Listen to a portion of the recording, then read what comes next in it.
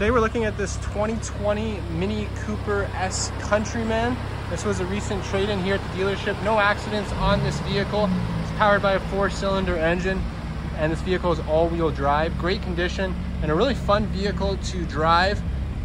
I really like the interior on this car, which we will get to shortly. You do have reverse parking sensors, your reverse camera, dual exhaust. You do have a power tailgate here as well. You actually get plenty of space back here. And then underneath here, there's a huge amount of space as well. And you can fold down those rear seats for even more. So be sure to check out the photos in the first link in the description for that. And coming around to the interior, really comfortable interior here. Um, you do have some cup holders that fold out from the center here.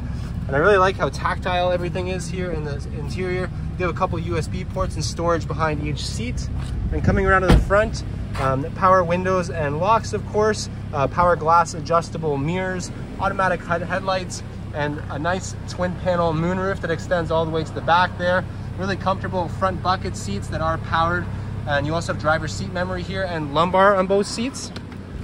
Stepping into the vehicle, you have your speedometer right behind the steering wheel, cruise control here, really comfortable steering wheel, navigation system, and then you also have your reverse camera, which I'll show you here.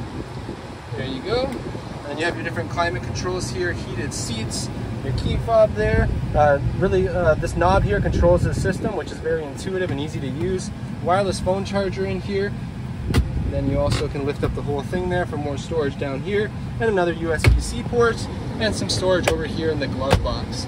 Up top, you just have your moonroof controls, your rear view mirror, and this vehicle only has 54,000 kilometers on it. So plenty of life left in this vehicle. If you're interested in this vehicle, please reach out to me at Boyer Ford Lincoln Bobcaygeon and ask for Ryan. Thanks so much and have a great day.